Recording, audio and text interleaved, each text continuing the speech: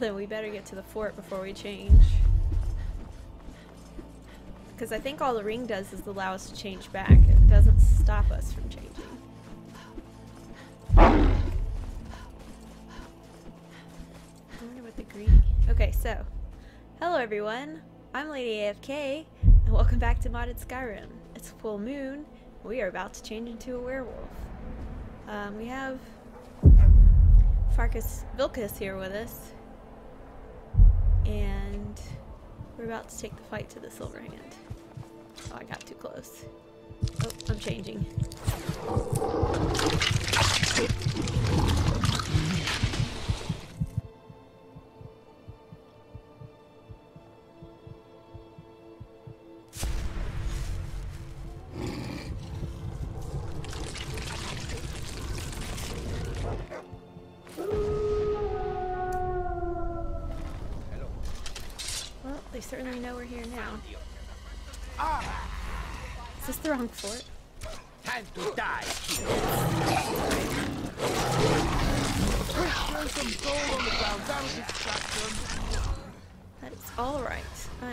Feed on them.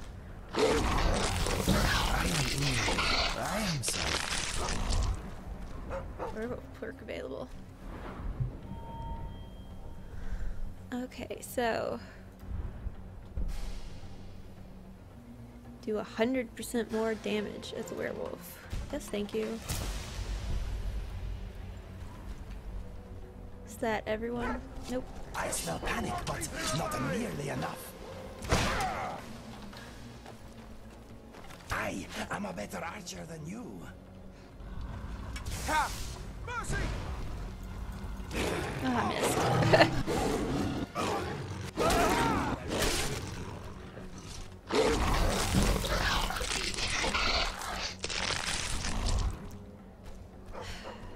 Alright.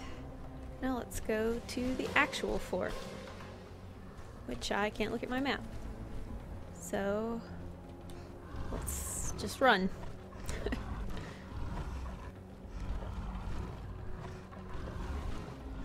Look at that full moon. Serious business.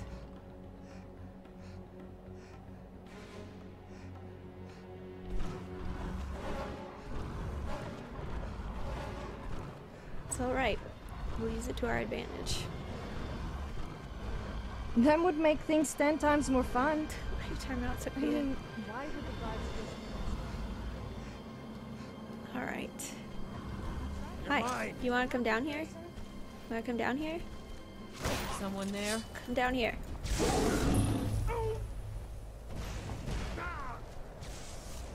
How do I get up there? Ah, these stairs.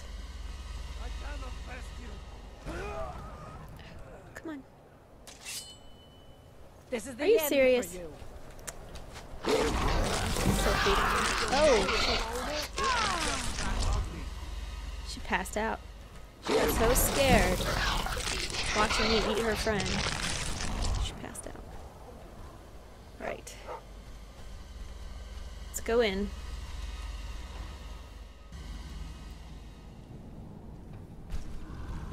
Alright. Who wants to be eaten? I'll show you to kill my harbinger. What was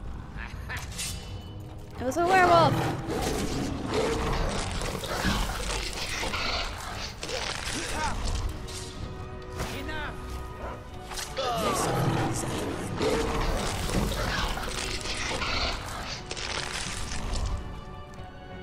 Right, there's that door, that very large door right in front.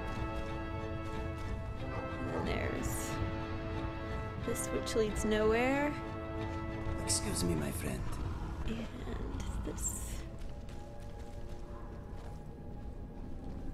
Haha!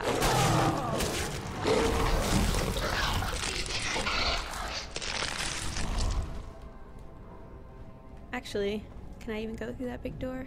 I bet. Be careful. Why aren't you werewolf? Wake up! Stop daydreaming about me and which way you going?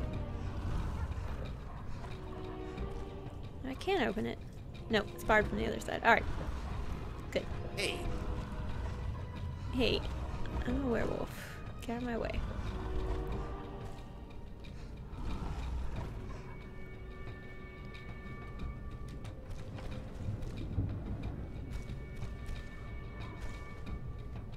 Huh. Time to end this little game.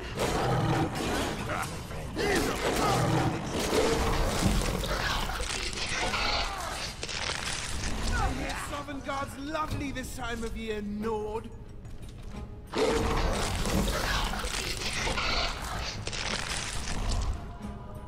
Anyone else up here? Nope. Let's keep moving. That must be locked.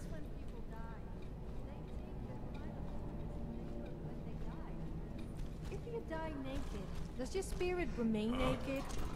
Without Did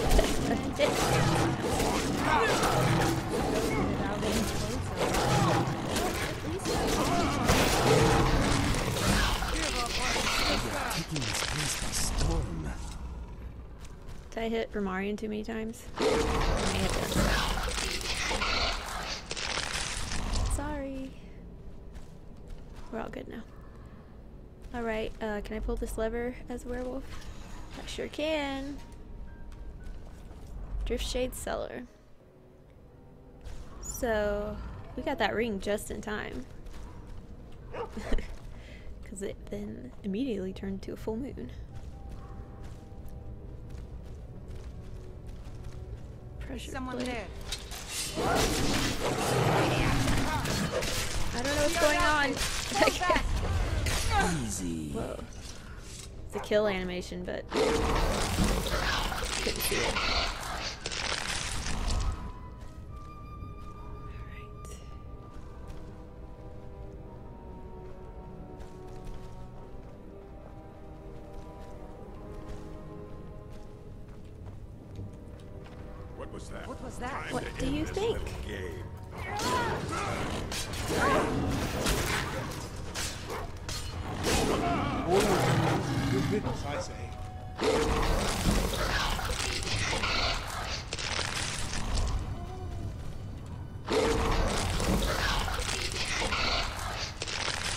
Smithing increased to 125. That's good. Oh, through here. Why aren't you a werewolf? Why don't you want a werewolf with me?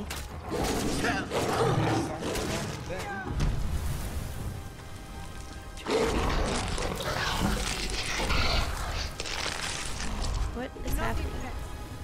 Are the rocks falling or something? We have company.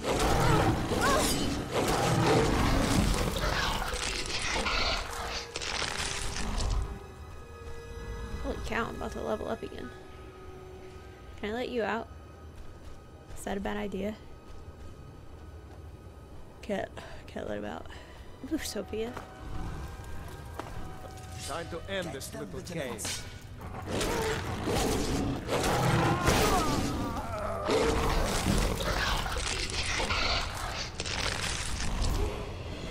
I'm not gonna level up. I want to train first.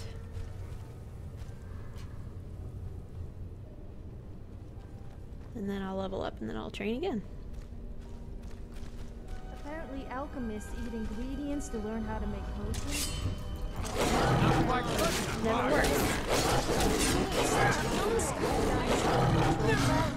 As for eating this or that, that sounds painful. Werewolf perk available. Excuse me, dear. Just want to chomp on this body next to you.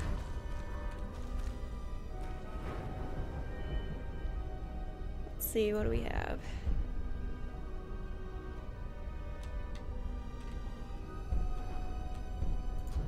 Oh, yeah, we'll do that. Oh my gosh, come on.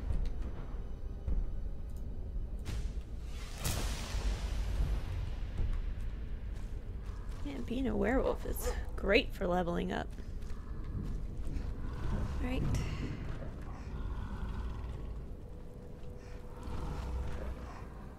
Driftshade Refuge.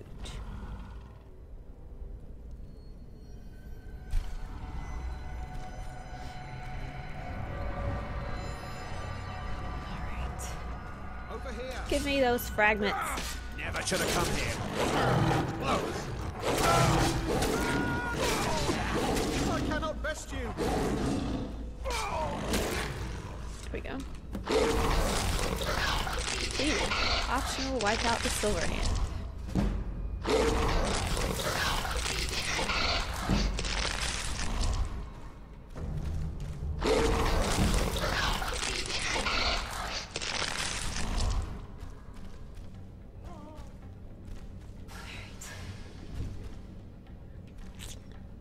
I gotta tell you, I'm really disappointed you didn't want a werewolf with me.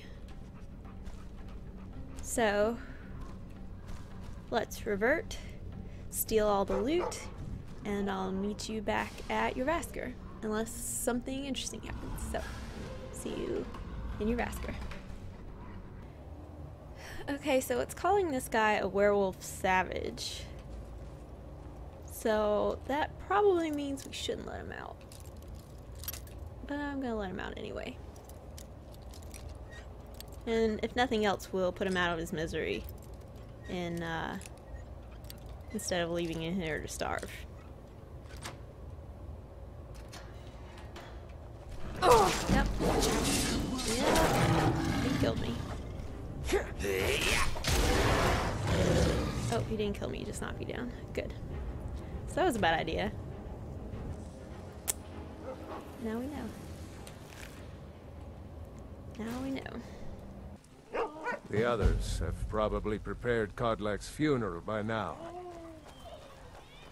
Come up to the Sky Forge to pay your respects.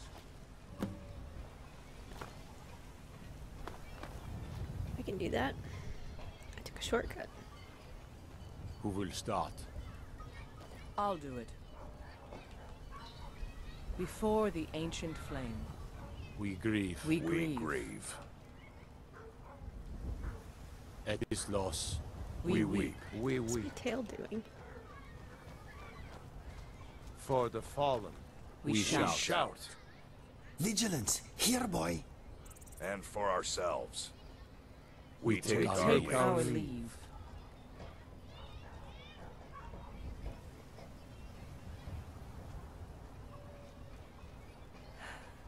Sorry. I always get emotional at funerals. Ready to get moving? Actually, I've never been to one, and I don't care that Kodlak is dead. I just never get a chance to have a good cry without looking like it's all a total weirdo, and Let us withdraw. this place is so depressing. Our last together. Do you have the fragments of Wuuthrad still? I'll need to prepare them for mounting again. Um, I return them with honor. Don't get too flowery on me, lass. Of course, I have a small favor to ask of you. Oh yeah? There's another piece that Kodlak always kept close to himself. Would you go to his chambers and bring it back for me? I'm not sure I'm the best one to go through his things. But I am? Guess I'll have to. I appreciate it.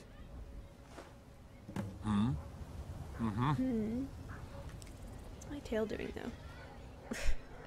I ain't much for talking. I didn't. We done? Yeah. I don't know why you started talking to me again. I'm having tail issues. Issues. Can you see that?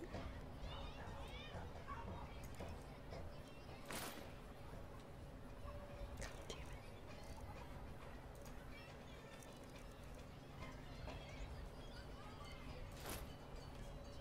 There we go. Yes? Leave me. Leave you. I, I don't know how to react at funerals. People always say the dead are off to a better place, but then why is everyone so sad? It's very true, Marty. Probably because they'll miss them.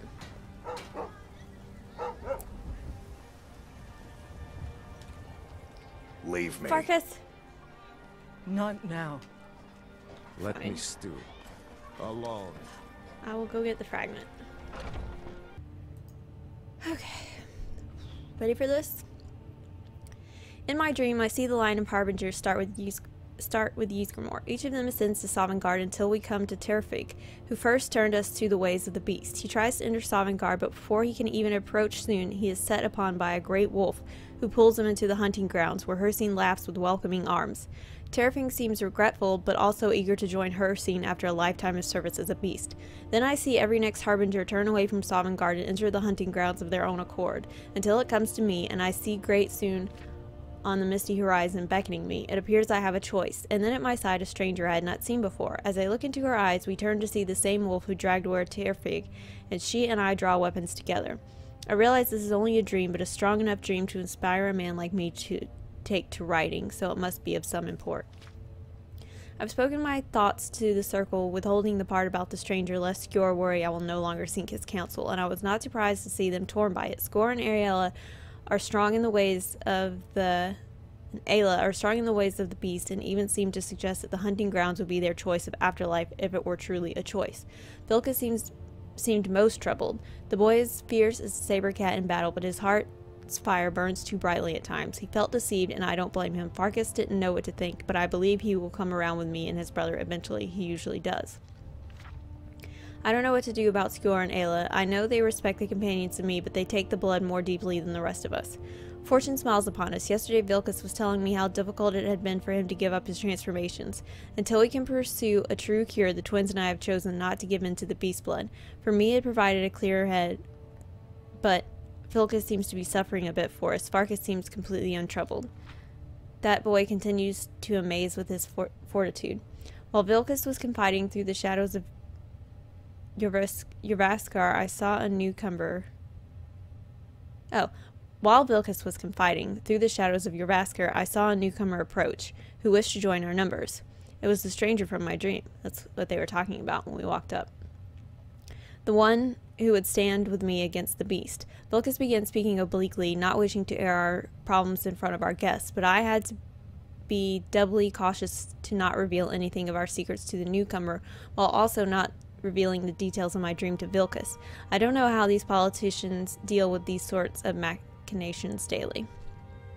In any case, I've sent Vilkas to test the newcomer. We'll see if she is truly the great warrior I dreamt of.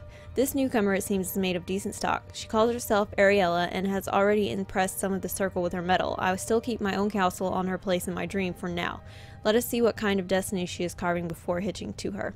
In the meanwhile, I look for ways of cleansing my blood. The writings and legends on the subject are sparse and contradictory. I don't wish to engage any wizardry on this matter, but I fear they may be the only ones who best know how to navigate these worlds of knowledge. It is apparent to me now that Terrfyg's choice to turn us was indeed a mistake. Magics in their ilk are not in keeping with the spirit of the companions. We face our problems directly without the needs of such trickery. I can only hope to guide us back to the true path of Ysgramor before the rot takes me. Ariella continues to impress. I don't know yet where she will stand on the question of the blood, but the question has not been presented yet. She does not know that we carry the beast blood, and appears and appears curious about it. Soon enough, I can explain our troubles and hopefully see what role she will play. I'm amazed that Aela thinks she can keep a secret among this drunken rabble, especially with the loss of Skjor. My heart aches. Emotions are fraying, and the walls of discretion are the first to fall. Apparently, she and Ariella are waging their own separate war against the Silver Hand in retaliation for Skjor's death. Their hearts are noble, but the course of vengeance is running hot, and I fear the counterstroke, counterstroke that may come if they do not rein in their fury. Ariella shows valor, though, even in this underhanded time. We have not had cause to speak much, and that is something I deeply regret. I have high hopes for her destiny, as I realize that her appearance in my dream may indeed mark her as the harbinger to succeed me. I have received few dreams over the course of my life, but when they come, I have learned to trust them. I have also learned to trust the instincts of my heart, which tells me that Ariella can carry the companion's legacy as truly as any residing in Jorrvaskr, especially with the loss of Skjor. Is too solitary, Vilkas too fiery, and Farkas too kind-hearted. Only Ariella stands as a true warrior who can keep a still mind amidst these burning hearts. I will not speak to her of any of this, though. It is too much to burden another with. My hope is that she and I can keep counsel over the coming years, that I can impart the wisdom of the Harbingers, all things in time. Firstly, I will seek her assistance in the matter of the witches of Glen Moril. It would appear that our path to the curse is not without some poetic justice for the tricksters who first cursed us. Ooh, that was a lot. Oh, there's a Stone of Barenziah over here. I did not even see that before. So, Should we get moving? Destiny calls.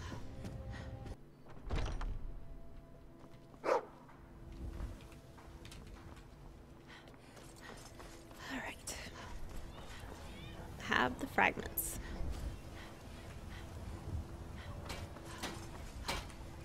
You're back. I have Kodlak's fragments. Thank you. Your shield siblings have withdrawn to the Underforge. I think they're waiting for you. Alright, thanks. Aren't they slow? I can get in and out before you. I want training and I want to level up. The old man had one wish before he died, and he didn't get it. It's as simple as that. Being Moonborn is not so much of a curse as you might The think. The alchemist in Lucas. Skyrim will buy anything That's that fine comes for in you, a potion bottle. but he wanted to be Can clean. believe I make money by He wanted to meet in a bottle? Ysgramor and know the glories of Sovngarde. But all Ah, that was to stop, taken from him. When I got chased out of town by the shop him. owner. Kodlak did not care for vengeance. No, Father. Excuse me, my friend. And that's not what this is about. We should be honoring Kodlak, no matter our own thoughts on the blood. You're right. It's what he wanted, and he deserved to have it. Kodlak used to speak of a way to cleanse his soul, even in death. You know the this bitch. legends of the tomb of Ysgramor. There, the souls of the Harbingers will heed the call of Northern Steel.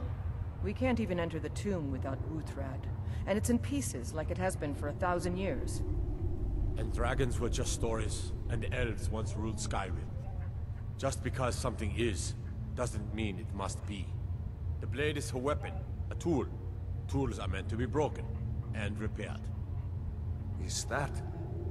Did you repair the blade? This is the first time I've had all the pieces, thanks to our shield sister here. The flames of Hero can reforge the shattered. The flames of Kodlak shall fuel the rebirth of Wuuthrad, and now it will take you to meet him once more. okay then. I think that they're blocking him.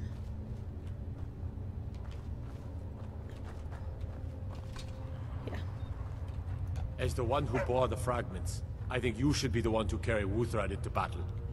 The rest of you, prepare to journey to the tomb of Ysgramor, for Kodlak.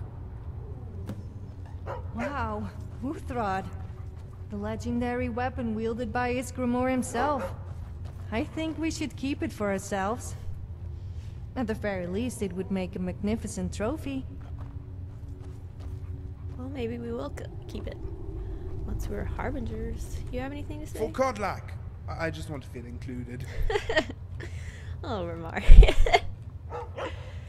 Alright then. For Kodlak! Oh my.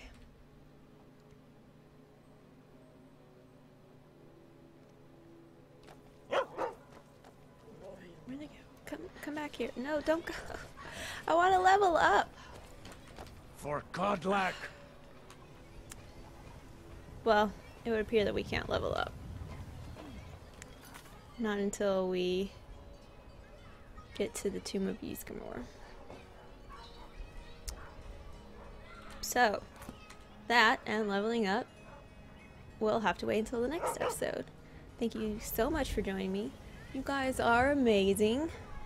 Uh, thanks for all the likes, the comments, and the subscriptions. And, um, yeah, I love that little cat down there. It looks like that one back there. It's always back there asleep. Have you Anyway. ever tried bareback? I don't know. Anyway, I didn't like it. thanks it. for joining me. It started to make me a little I will see you in the next one. Till next time.